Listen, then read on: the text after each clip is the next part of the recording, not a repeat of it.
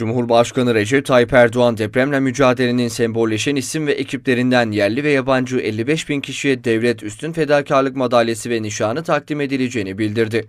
Afrika'dan Asya'ya, Amerika'dan Avrupa'ya dost ve kardeş ülkeler mali destek taahhüdünde bulundu. Bunların hepsini kalbimize yazdık.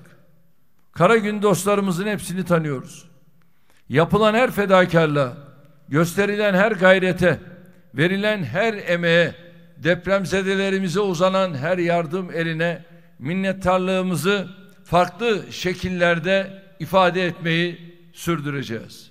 Yerli yabancı toplam 55 bin kişiye inşallah bu madalya ve nişanları takdim edeceğiz.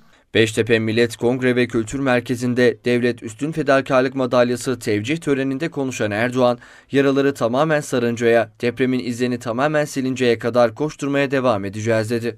Gidenleri geri getiremesek de, yaraları tamamen sarıncaya, depremin izlerini tamamen silinceye kadar koşturmaya devam edeceğiz. Tarih boyunca nice badireyi beraber atlattıysak, dost ve kardeşlerimizin de desteğiyle bugünkü zorlukların üstesinden de 85 milyon olarak geleceğiz buna inanıyoruz.